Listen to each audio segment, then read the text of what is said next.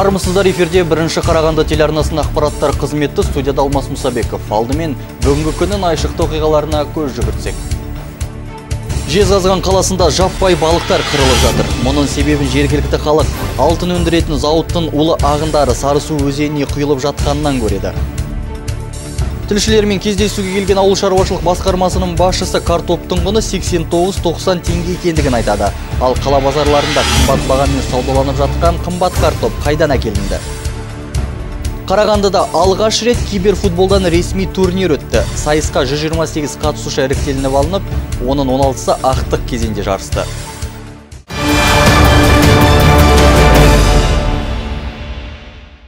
Жезқазған қаласында жаппай балықтар қырылып жатыр. Мұның себебін жергілікті халық алтын өндіретін зауыттың улы ағындылары Сарысу өзеніне құйылып жатқандығынан көреді. Вот здесь идет пена с кислотой.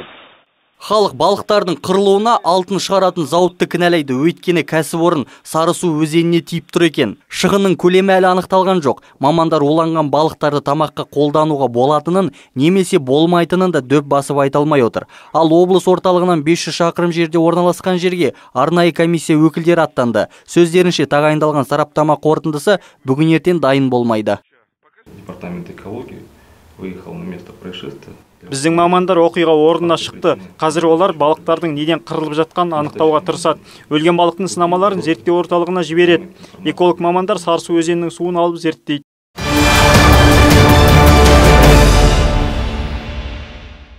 Қарағандыдағы Шұбаркөл разрезінде көмір қыс мезгіліне артығымен жетеді. Шұбаркөл акционерлік қоғамы басшысының сөзінше, биылғы жылы 10 миллион тоннадан артық қара отын өндірілген. Бұл былтырғы жылмен салыстырғанда екі есеге көп. Осындай ақпаратты тілшілерді арнайы жинаған көмір өндіруші компания өкілдері айтып отыр.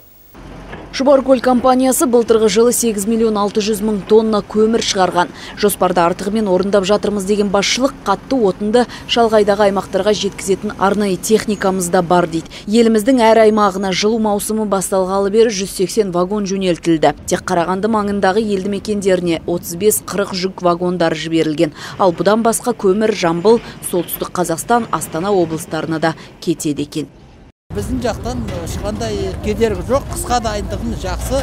Көмірдің сапасы жақсы. Бір жағынан алатын болсақ шұбаркөлдің көмірінің күлділігі аз қызуы көп. Сондықтан да мүмкін барлығы біздің көмірді алғысы келеді. Біздің жоспарымыз өзіміздің жоспарымыз бойынша жоспарымызды орындап жатырмыз ал бірқатар аймақтардағы көмір тапшылығын басшы өздерімен байланыстырмайды. Есесіне өзге көмір өндіруші компаниялардың қатты отынды дұрыс жеткізбеуінен болуы мүмкін дейді. Ал ұзын сонар кезектің пайда болуы жылда қайталанатын жағдай екен дегенмен сөзінше шұбаркөл компаниясындағы көмір қоры қыс маусымына артығымен жетеді деп отыр. Мейрамгүл салқынбаева жасұлан мақұлбеков дастан шанин бірінші қарағанды телеарнасы.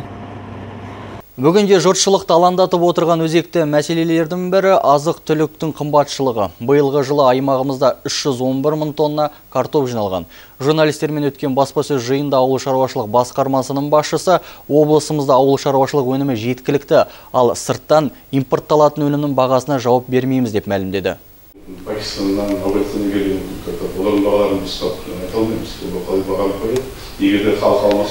алмаймыз. Мамандардың айтуынша биылғы жылы ауа райының қолайсыздығына қарамастан ауыл шаруашылық өнімдері жеткілікті деңгейде жиналған. Ағымдағы жылы шаруалар 101 мың тонна көкөніс, 311 мың тонна картоп, 795 мың тонна бидай өнімдерін алды. Алайда астықтың молдығына қарамастан құбылмалы баға қала жұртшылығын алаңдатып отыр. Баға тұрақсыздығының себебін ауыл шаруашылық басқармасының басшысы былай түсіндірді у нас такое время өздеріңіз білесіздер жылда маусымдық кезеңде баға мәселесі туындайды күз мезгілінде бағалар қымбаттайды. Биыл азық түліктің қымбатшылық байқалды. Көршілес елдерде қиындықтар туындап картопты бізден сатып алған болатын. Осыдан 20 күн бұрын алматы облысында картоп болмады. Өнімдерімізді сол жаққа жібердік. Алып сатар саудагерлер бұл жағдайды пайдаланып бағаларды қымбаттатып жіберген болатын. Бірақ қазір бәрі бақылауда. Бүгінгі таңда Қарағанды облысынан картопты экспорттау тоқтатылған дейді мамандар. Себебі Өзбекстан мен оңтүстіктегі аймақтарға картопты Ресей мен Беларусь елдерінен әкелетін болды. Алайда тілшілер экспорттау тоқтатылғанымен баға мәселесі шешілмеді деп ауыл шаруашылық басқармасының мамандарын сұрақ астына алды. Ә, супермаркет магазиндерде 89-90 теңгеден ал шығыс базарына мен өзім тура сол жерде тұрамын ол жерде 120 теңгеден неліктен. Базардың бағасы арзандау болу керек. Олар біз ресейден әкелеміз дейді. Картопты сосын біздің бағамыз олар біз олардан жүз теңгеге аламыз жүз жиырма теңгеге сатамыз дейді. Горожане бывая на ярмарках которые проводятся второй раз чем на прошлой неделе. Замечают что цены на картофель растут а сами продавцы говорят о том что урожай в этом году не очень хороший. Пакистаннан әулеттен келген олардың бағаларын біз айта алмаймыз ол қалай бағаны қояды егер де халық алмаса алынбайды ол нарық сондай ақ брифинг барысында ауыл шаруашылық кооперативтері жайында да сөз қозғалды. Аймағымызда елу алты кооператив жыл басынан жұмысын бастаған. Оның жиырма бесі сүт және ет бағытында жұмыс жасауда. Кооперативтердің жұмыстары қалай жүргізілуде соны ашып айтып кетсеңіз? Бұл ең бірінші мына ауылдағы жай тұрғындарға жеңілдікпен несие алудың бірде бір көзі. Биыл бізде жаңа айттым ғой үш жарым миллиард теңге біздің қаражат жаңағы біз біз арқылы бөлінген. Сосын жаңағы қазагроның өзі бір жарым миллиард теңге бес миллиард теңгедей ақша сол кооперативтерді ашуға жұмсалды соның ішінде жаңағы жеті мың сегіз мыңға жуық мал сатып алынды. Соның сол малды мысалы өткізгені үшін әр басына жиырма мың теңгеден субсидия алатын болды. Жиын барысында ауыл шаруашылық техникасының жаңартылуы жайында да айтылды. Облыс бойынша ағымдағы жылдың тоғыз ай ішінде төрт жүзге жуық ауыл шаруашылық техникасы қолданысқа берілген. Жыл аяғына дейін тағы жүз қырық үш бірлік техника сатылып алынады деп жоспарланып отыр. Осының нәтижесінде келесі жылы өте жақсы өнім жинауға мүмкіндік болады дейді мамандар. Аяжан ералықызы сергей высокосов дастан шанин. Бірінші қарағанды телеарнасы.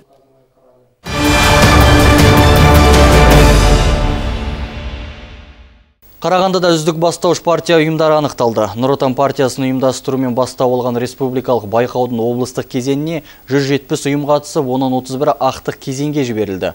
Осыған орай аталмыш шарада қорытындылау бойынша салтанатты түрде жеңімпаздар мен қатысушыларды марапаттау рәсімі өтті. Жеңімпаз енді Астана қаласында өтетін республикалық конкурста бақ сынамақ. Байқау бастауыш партия ұйымдарының қызметін белсендіру және олардың жұмысын жандандыру, сондай-ақ алған тәжірибелерін елдің барлық аймақтарында тарату болып табылады. Комиссия мүшелері конкурс қатысушыларын жобаларды іске асыру, жаңа әдістерді пайдалану, бұқаралық ақпарат құралдарында жариялау және жастармен жұмыс жасау сияқты жеті критерий бойынша бағаланды. Осыған сәйкес облыстық екінші кезеңіне 31 бастауыш партия ұйымдары жіберілген. Салтанатты шара барысында Нұр Отан партиясы облыстық филиалы төрағаның бірінші орынбасары Қадиша Оспанова өз сөзінде жеңімпаздарды қалай анықтағаны және ережелерін айтып өтті. Ең үздік бастауыш партия ұйымының республикалық байқауының ережесіне сәйкес партия филиалында арнайы құрылған комиссия мүшелері байқауға қатысуға ұсыныс берген бастауыш партия ұйымдарының орналасқан жерлерінің безендірілуі мен ішкі партиялық жұмыстарымен танысты. Байқаудың іріктеу шарттарына сәйкес өткізген құжаттарына сараптама жүргізіп, бақылау қорытындысы бойынша жеңімпаздар іріктелді.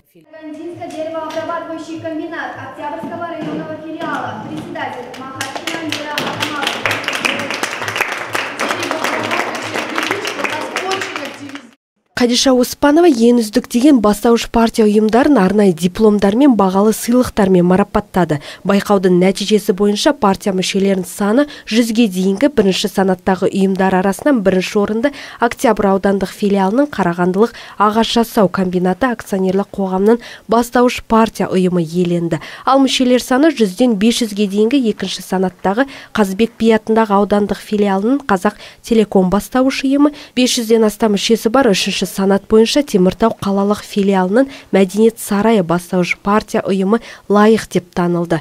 Аталған жеңімпаздар желтоқсан айында Астанада өтетін республикалық кезеңге жолдама алды. Айжырқын Сейсен, Жаслан Мақұлбеков, Дастан Шанин, бірінші Қарағанды телеарнасы. Жақында ғана облыс әкімі Ерлан Қошановтың төрағалығымен ведомствоаралық комиссия отырысы өтті. Жиын барысында кәмелеттік жасқа толмағандардың арасында құқық бұзушылықтың алдын алу мәселесі бойынша тапсырмалар берілген болатын. Соған сәйкес ішкі істер департаментте өткен жиналыста аталмыш мәселе жан-жақты талқыланды. Жыл басынан бері Қарағанды облысында кәмелеттік жасқа толмағандарға түнгі уақытта сатылған 413 алкоголь мен 340 темекі өнімдері тіркелген. Тәртіп сақшылары жасөспірімдерге зиянды өнімдерді сатқан үшін кәсіпкерлерді лицензиясынан айыру керек деп бірнеше рет айтқан болатын. Дөңгелек үстелге салық қызметі мен облыстық сот өкілдерінің қатысуы бекер емес. Аймақтық жергілікті полиция қызметі басшысының айтуынша лицензиядан айыру мәселесі іс жүзінде шешілген.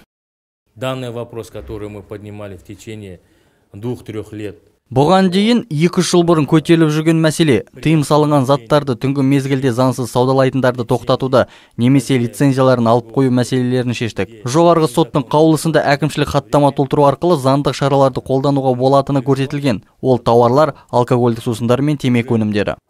Тағы бір маңызды мәселе қылмыс жасаған кәмелетке толмағандарды ерекше режимі бар білім беру ұйымдарына тіркеу және жіберу практикасы. Аталмыш мекеме Шығыс Қазақстан облысының Белоусовка ауылында орналасқан. Жыл басынан бері 155 кәмелеттік жасқа толмағандар қылмыс жасаған үшін қылмыстық жауапкершілікке тартылған. Бұған қоса 111 жасөспірімге қатысты тараптармен келісу арқылы оның ішінде медиация тәртібімен қылмыстық іс тоқтатылды.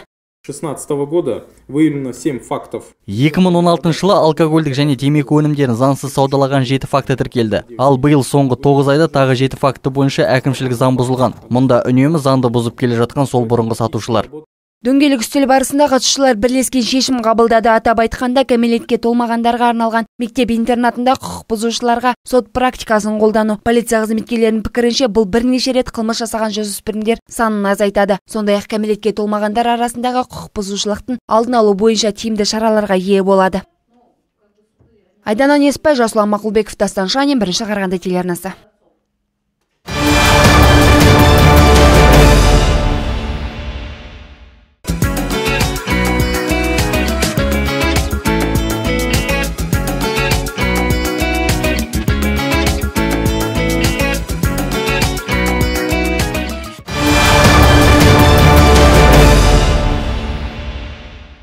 Сәкен Сейфуллин атындағы қазақ драма театрында қаз дауысты Қазбек бидің өмір жолына арналған спектакль көрсетілді. Сценарий авторы жерлесіміз белгілі режиссер Кенес Жұмабеков, ал қоюшы режиссері мен суретшісі Алматыдан арнайы шақыртылған. Қойылым Қазбек би бабамыздың 350 жылдық мерейтойына арналған. Біз қазақ мал баққан. Бірақ ешкімге соқтықпай жай жатқан елміз. Елімізден құт береке қашпасын деп жеріміздің шетін жау баспасын деп найзаға таққан елміз ешбір дұшпан басынбаған елміз сценарийдің авторы белгілі актер режиссер кеңес жұмабеков. Спектакльдің қоюшы режиссер шыңғыс айтматов атындағы халықаралық сыйлықтың лауреаты қуандық қасымов. Қойылымның дизайнын көркемдеуге қазақстанның еңбек сіңірген қайраткері есенгелді тұяқов шақыртылды. Бұл азаматтарды қазыбек би бабамыздың жан жақты қайраткерлік тұлғасын ашып көрсету үшін арнайы алдырдық дейді автор.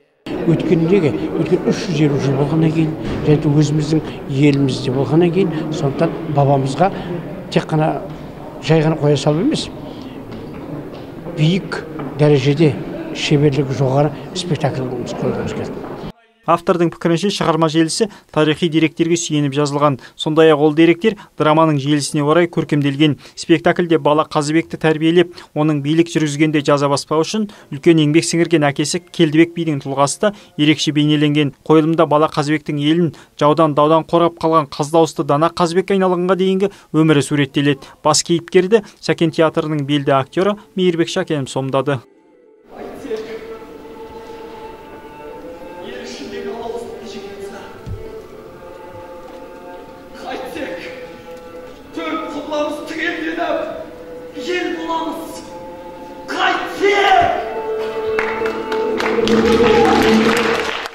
Бұл қойылымда қалмақ пен қазақ елдерінің бірнеше жылға созылған соғысы суреттелді. Оған қоса сол заманның тұрмыс салты халықтың өмірі сахналанған. Сондай ақ спектакльде 18 ғасырда қазақ халқының алыс жақын елдермен жүргізген саясатта көрініс тапты.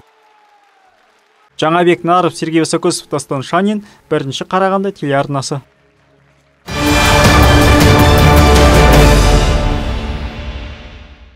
Бұқар екен жырлайды атты дәстүрлі облыстық ақын жыршылар сайысы биыл 10-шы мәрте өтті. Осы жылы сайысқа қатысушылар саны былтырғы жылмен салыстырғанда екі есеге кеміген. Елуден астам үміткер қатысқан өнер додасында талантты жастардың шығармашылығы таразыланды. Ұйымдастырушылар бұл жолы талаптарды қатандатқан көрінеді. Алталаштың арқалы жырауы Бұхар жау Қалқаманұлының жалынды жырларын, асыл мұрасын дәріптеу, жыршы жыраулық дәстүрді жаңғыртып насихаттау, келешек ұрпаққа жеткізу сайыстың басты мақсат дейді ұйымдастырушылар. Айтуларынша жаһандану заманда жыраулық өнерге қызығушылардың қатары азайып келеді екен. Оның айғағы өткен жылы өнер додасына 150-ге жуық қатысушы бақ сынаса, биылғы жылы 56 үміткер қатысты. Дәстүрлі Бұхар екен жырлайды атты облыстық жыршы жыраулар және ақындар сайысы осымен оныншы рет өткізіліп жатыр. Қарағанды облысының сәтбаев теміртау шахтинск қалаларынан басқа саран қалаларынан басқа абай ақтоғай нұрат қарқаралы сияқты аудандарынан елу алты үміткер қатысып жатыр. Сайыстың бірінші бөлімінде қатысушылар бұқар жаудың толғауларын жатқа айтса екінші кезеңде қатысушылар өз туындыларын жыр толғау үлгісінде жазуы шарт. Ал сайыстың үшінші бөлімінде үміткерлер күмбірлеген домбырамен қобызбен жыраудың толғауларынан үзінді орындады. Ұйымдастырушылардың айтуынша биылғы жылы жыршылар сайысының талаптары қатаң болған көрінеді. Жүз елу алты үміткер қатысқан. Биыл біз талапты күшейттік. Негізінде алғашқыда бұқар жыраудың он толғауына шейін жаттағандарды біз сайысқа қатыстыратынбыз. Биылдан соң жылдан жылға үміткерлер көбейген сайын талап та күшейіп жатыр. Биылдан бастап 15-20 жаттағандар ғана сайысқа қатыса алатын болды. Ал былтырғылар 5-6 толғау жаттағандар келіп қатыса беретін. Биыл талапты күшейттік. Соның өзінде қазір 56 үміткер тіркеліп тұр. 11 сынып оқушысы Назым Мақсұт өнер додасына бірінші мәрте қатысып бабын сынауда. Бойжеткен бала кезінен домбыраның құлағында ойнап, шығармашылыққа бет бұрғанын айтады. Бұл сайысқа ерекше үлкен ықыласпен дайындалған үміткер екі терме орындайды. бұл байқауда енді қазақтың халқының дәстүрлерін сақтап мәдениеттерін өзімнің өнерімді көрсеткім келді бағымды сынайын деп басқа қатысушыларға да сәттілік тілегім келеді бағымды сынап көрем деушілердің бірі ұлы тұлғаның есімі берілген ауданның намысын қорғап келген қадыр жұмабек. Бесінші сынып оқушысының бұл сайысы өнер мен шығармашылықтағы алғашқы баспалдағы көрінеді. Бұқа жырау өлеңдерін халыққа айтып беру үшін келдім. Кеше қара қалмақ бүлінді. Бүлінгеннің белгісі бұрқан тарқан болысты. Уағыдадан азысты. Буыршындай тіздесті жамандықты іздесті. Бірін бірі күндесті. Жаулаған ханның қаронбас хан қисайса бәрі ханның қалмақ жаулаған сөйткен қалмақ оңбаған сол қалмақтың жұртынан үш қарқара көктөбе иттей ұлып қалмаған. Көмекей әулие атанған бұхар жаудан қалған асыл мұраны дәріптеу шарасы биыл қаз дауысты қазбек бидің 350 жылдығына арналып отыр. Жеңімпаздар мен жүлдегерлер ақшалай сыйлықтар мен марапаттау қағаздарына ие болды. Аяжан ералықызы сергей высокосов дастан шанин бірінші қарағанды телеарнасы Бүгінгі таңда Қарағанды қаласы бойынша 696 бала қорғаншылар мен патронаттық тәрбиешілердің отбасында. Қамқоршылар күні аясында қалалық білім бөлімінің қолдауымен өткен салтанатты шарада атана қамқорлығынсыз қалған балаларды бауырына басқан ізгі жандарға құрмет көрсетіліп концерттік бағдарлама ұсынылды. Жиын барысында нөмір екінші өнер мектебінің оқушылары би билеп ән салды. Залға біреудің қайғысына ортақтасып, бөтен баланы өзінікіндей көріп, бағып қағып өсіріп жатқан мейірімді жандар жиналып отыр. Солардың бірі төрт баланы қамқорлығын алған Най Владлена. Владленаның өзінің үш туған баласы бар. Басында бір-біріне үйренісіп кету оңайға соқпағанын да жасырмады. Қазір бір үйдің баласындай тату-тәтті өмір сүрудеміз дейді ана. Айтуынша қоғамдық мекемене ерікті болып жүрген кезінде бүлдіршіндерді асырап алуға ниет білдірген екен. Ал бүгінде отбасылық балалар үйін ашып, онда тәрбиеші болып жұмыс жасайды. Жетім көрсен жебей жүр деген қағиданы ұстанатын владлена ананың аял алақанын көрмеген балаларды бауырына басып жүр. Я живу в частном доме.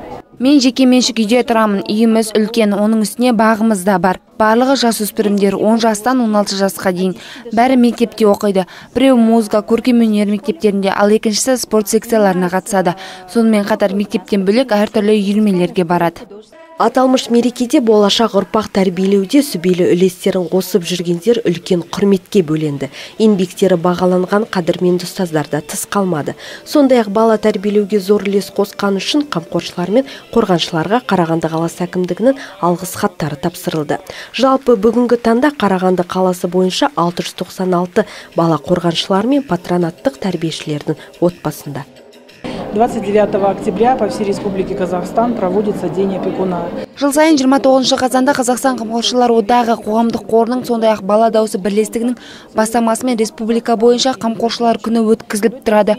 Бұл күні балаларды өз қамқорлықтарына алған тәрбиешілерге құрмет көрсету мақсатында осындай концерттік бағдарлама ұйымдастырдық. Аталмыш шарада қала әкімдігінің орынбасарлары және білім бөлімінің меңгерушілері келіп отыр. Олар өз алғыс хаттарын табыстайтын болады мерекенің мақсаты ата ана қамқорынсыз қалған жетім балаларды тәрбиелеуді қолға алған отбасыларға қолдау көрсету. Сондай ақ ұйымдастырушылардың айтуынша аталмыш шараны өткізу әлеуметтік жетімдіктің алдын алуда өз үлесін қоспақ және балаларға отбасы жылулығы мен қамқорлығын сезінуге көмектеспек. Айжарқын сейсен сергей высокосов дастан шанин бірінші қарағанды телеарнасы.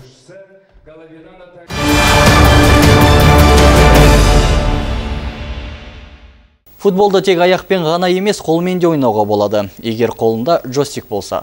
Қарағандыда алғаш рет киберфутболдан ресми турнир өтті. Сайысқа 128 қатысушы іріктелініп алынған екен. Оның ішінде 16 үміткер ақтық мәреге жолдам алды. Екі күнге созылған кибер жарысының жеңімпаздары кім атанғаны жайлы тілші баяндайды. Киберфутбол қазіргі таңда жастар арасында ерекше сұранысқа ие. Мұны жастар спорт сарайына жиналған қатысушылардың санынан ақ байқауға болады. Алматов Зинолла бүгінгі турнирдің қатысушысы. Ол осы ойынды бала кезінен ойнап келетіндігін айтады. Сөзінше осындай турнирлер арқылы киберспортқа деген қызығушылықты артуға болады. Зинолла бүгінгі турнирде ақтық сайысқа жолдама алғандардың қатарында. Себеп жалпы барлығында бірдей деп ойлаймын, яғни өзінің өздерін жаңағы күшін сынап көру. Жалпы турнир жақсы деңгейде өтіп жатыр бәрімізге ұнап жатыр. Осы басқа да осы жақсы ойнайтын ойыншылармен тәжірибе алмасып жатқан жайымыз бар. Бірінші мәрте ұйымдастырылып тұрған сайысқа биыл 128 үміткер бақтарын сынады. Ұйымдастырушылардың айтуынша қатысушылардың бәрі осы ойынды жетік меңгергендері көрініп тұр. Жалпы турнирді көптің сұрауымен ұйымдастырған көрінеді. Әрине бұл ойын түрі жастар арасында көп сұранысқа ие. Біз бұл турнирді жастардың сұранысы бойынша ұйымдастырып отырмыз. Осы сайысты қолдап көмек көрсетіп жатқан жастар спорт сарайының басшылығына алғысымды айтамын. Турнир жеңімпаздары бағалы сыйлықтармен қоса кубок пен медальмен марапатталды. Айтып өтер болсақ киберспорт түрі 2018 жылы өтетін азия ойындарының бағдарламасына енгізілген. Сонымен қатар ұйымдастырушылар алдағы уақытта бұл турнир жалғасын табады деп сенім білдірді. Айдар дәуренұлы сергей высокосов дастан шанин бірінші қарағанды телеарнасы Қарағандылық Сарыарқа сырт айдында өткізген кездесуде жеңіліс тапты. Кеншілер командасы Саров қаласында жергілікті ұжыммен күш сынасып, 4-те 2 есебімен есе жіберді. Айта кету керек, қазіргі таңда жерлестеріміз турнирлік кестеде үшінші орында тұр. Кездесудің алғашқы сәтінен бастап айдын иелері ойын тізгінін өз қолдарына алды. Бірінші кезеңнен қатарынан үш сайбаны соққан Саров жігіттері жерлестерімізді біраз әуреге салды. Сарықа ойыншылар тек екінші кезеңде ғана есеп айырмасын қысқарта білді. Бұл шайбаның авторы Исак Валицкий болатын. Бірақ қарсылас команда кеншілердің бұл қуанышын ұзаққа создыртпады. Араға 4 минут салып, айдын иелері қонақтардың қақпасына 4 шайбаны соқты. Осы соғылған шайбаны жауапсыз қалдырмаған арқа ұжымы Саров командасының қақпасына екінші шайбаларын соқты. Осылайша кездесу 4-те есебімен айдын иелерінің пайдасына шешілді. Бүгінгі ойын тартысты өтті. Қарсылас команда бізден басым болды. Оларды жеңісімен құттықтаймын. Біздің жігіттер қолдарынан келгенше тырысып бақты. Оларға ешқандай ренішім жоқ. Ендігі мақсат алдағы уақытта барыс клубымен болатын ойынға жақсылап дайындалу. Бірақ бұл жеңіліс жерлестеріміздің турнирлік кестеде үшінші орынға орналасуына кедергі болмады. Сарыарқа ұжымы келесі кездесуінде қонақта өткізетін болады. 27 қазан күні өтетін ойында қазандық барыс клубымен күш сынасатын болады. Айдар дәуренұлы дастан шанин бірінші қарағанды телеарнасы. Ардақты ағайын бүгінгі арнамызға келіп түскен ақпараттар легі осындай болды. Егер де бір қызықты жаңалықтарыңызбен бөліскіңіз келсе редакциямыздың қырық екі нөл алты қырық тоғыз телефонына қоңырау шалуға болады. Әдеттегідей жаңалықтарымыздың толық нұсқасын арнамыздың сайтынан таба аласыздар. Мен өздеріңізбен қоштасамын. Амандықта жүздескенше.